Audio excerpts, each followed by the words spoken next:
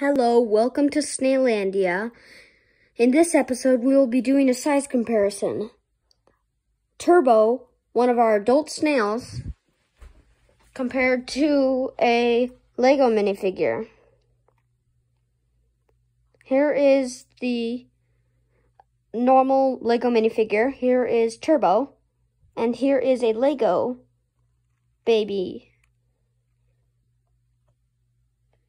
Here are them standing close to each other.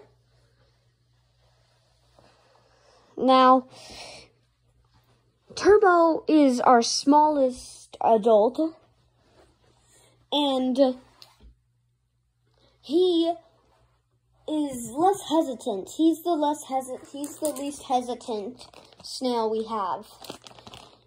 I can sometimes pet him on his skin and he will just stand there, slime there, look at my finger and just continue whatever he was doing.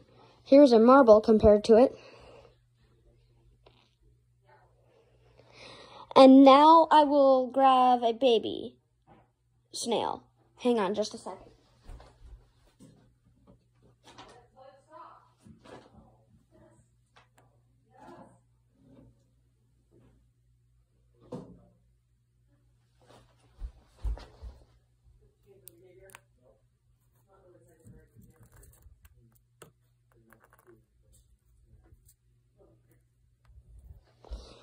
That is the little baby right there. That guy is about a week old. And he was he was born say 2 weeks ago. And now that he's hatched, he's a week old. So there we have it. Our size comparison. Thank you for watching Snailandia.